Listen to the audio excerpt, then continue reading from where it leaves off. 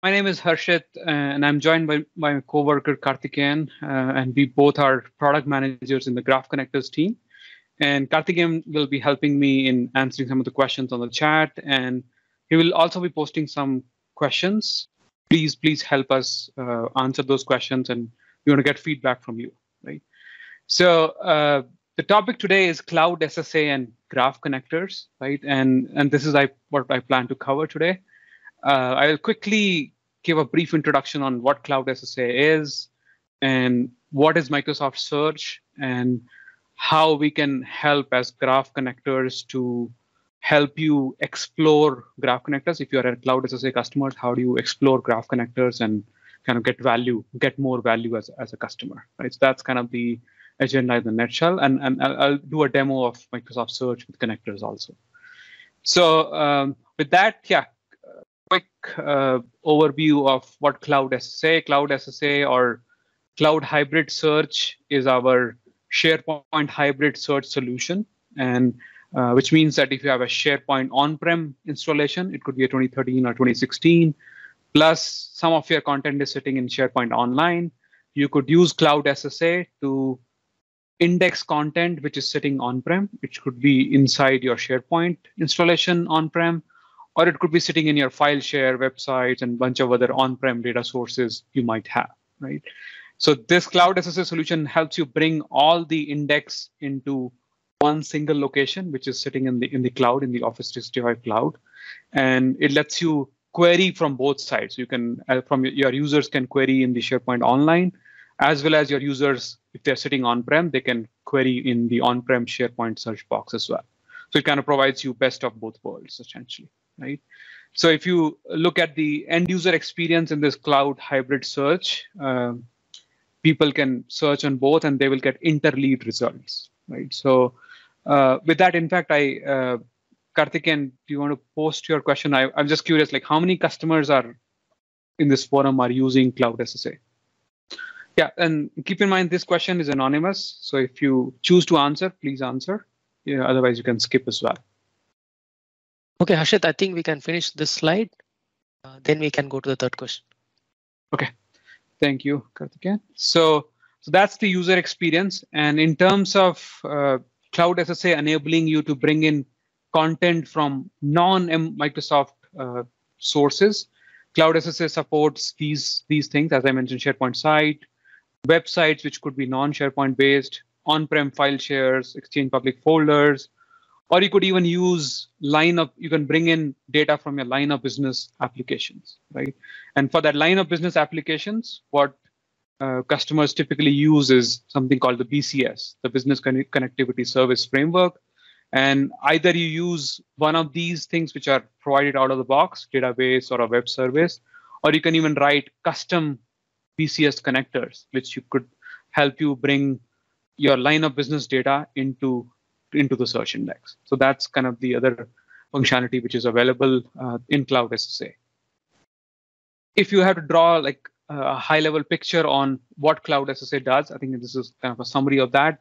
So Cloud SSA lets you crawl all your on-prem content. It could be SharePoint Online, Exchange, SQL Server, or any of the other custom uh, line of business application. All that content is crawled and parsed, and it is plugged into through the search content service which we have, which is like an intermediate service. And eventually the content kind of goes and sits into the SharePoint online uh, farm, which is again owned and managed by your uh, like managed by Microsoft, but it is owned by their tenant. So the data is all secure and within your tenant boundary, right? So this is kind of a high level picture of what Cloud SSA provides you. So now uh, moving along, so now introducing Microsoft Search, right? So Microsoft Search, as you know, is the modern search solution, right? I think this this was launched a few years back, and it is the intelligent search for your workplace, right? And it is it works across your company or across your entire Microsoft 365. And the same promise of Microsoft data is secure, private, and, and never shared. So you kind of are the owner of that data and you have full control of that data right? The results in Microsoft Search are powered by Microsoft Graph, and they are personalized for you and your your work essentially. And also, Microsoft Search is available on any device, anywhere, right? You can search in SharePoint, Office.com, Bing. We have Graph APIs available. It's also available in Teams and, and Windows Desktop, right? So just to show you a snippet of SharePoint, if I go to SharePoint, I can search on using Microsoft Search. And on the right side, if you see, if you go to Bing.com and then sign in with my corporate credentials, I can search my work content under the Work tab. Right? So that's another experience which uh, Microsoft Search provides. So now, what about the external data sources? Like similar to what Cloud SSA provided, we have graph connectors, which bring let you lets you bring in content from your third-party data sources, plug it in into Microsoft Graph, and once the data is plugged into Microsoft Graph, it powers Microsoft Search, plus bunch of intelligent experiences. There, some of these experiences are in preview, some of the experiences are rolling out or in, in development. Right? I think I'll show you some glimpses of some of the experiences, but these are all intelligent experiences. One and these are enabled once you bring in data using the graph connectors. So and I think just going deeper on the on the graph connector itself, we have three kinds of graph connectors. We have some Microsoft built connectors. We have our partners who have built connectors. And the third category is custom connectors. You can go and build your own connectors as well. So just to quickly show a demo of what I mean by the connectors. So if I go to the Microsoft Admin Center and under, under that, uh, which is admin.microsoft.com, and I, I log in with my uh, admin credentials, I go to search and intelligence tab.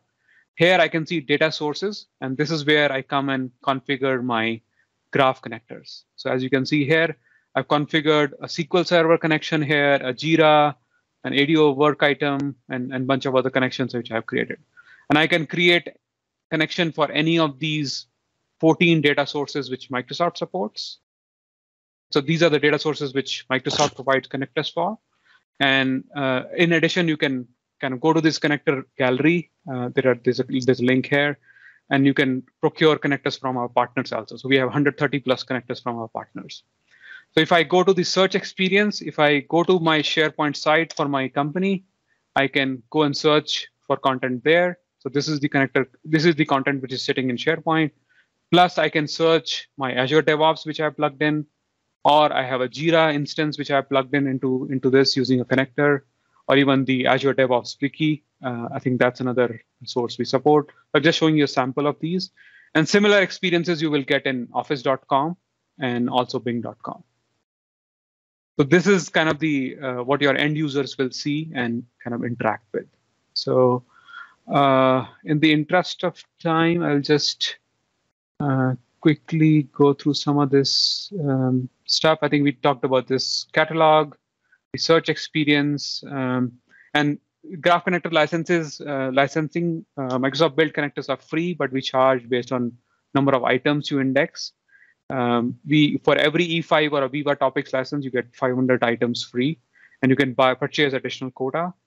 Um, we also have a three months free trial, so if you're interested, we'll provide you a link later on how to sign up.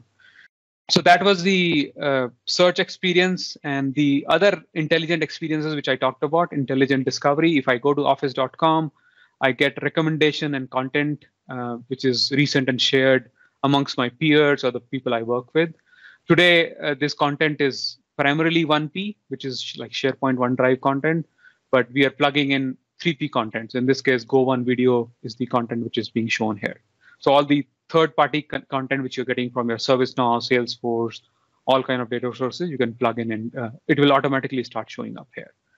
Uh, there is Viva Topics, which is more uh, like content curation, automatic content creation, and such. So today it's again based on 1P, but we are working on building this for 3P content as well. Uh, context IQ is another intelligent experience which will help you uh, contextually insert content from other third-party data sources. Right? So there's a so this was announced in, in November, and we have a preview coming up uh, later this year. Uh, Graph Connectors is also it's already Microsoft Search is available in Windows Search Box, but we are also going to power graph connectors in Windows Search, and this is coming in, in June this, this year. So you don't have to go anywhere. You just go to your Windows search box and search. You'll see content from your connectors. From your third-party data sources, essentially.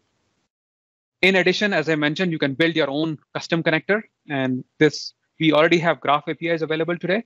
We are also building an SDK, and this SDK is in preview mode. If you want to sign up, you can try out uh, this and kind of build your own connector.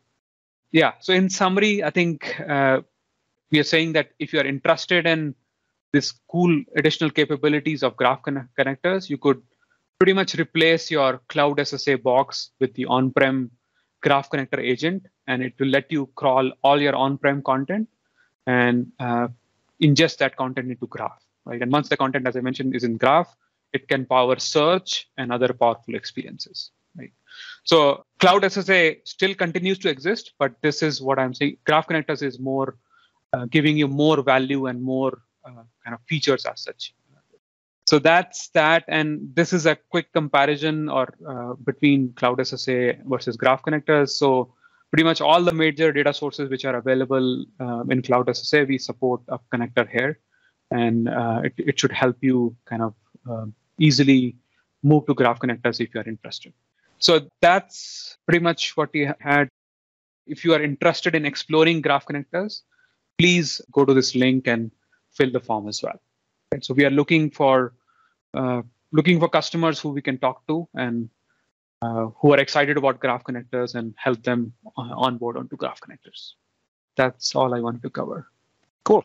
Thank you, Harshit, on that one. Thank you, Karthikeyan, on helping on the questions. Great way of, by the way, collecting input throughout the session and discussion. There's more than 100 responses on the first one, so really, really good job on that.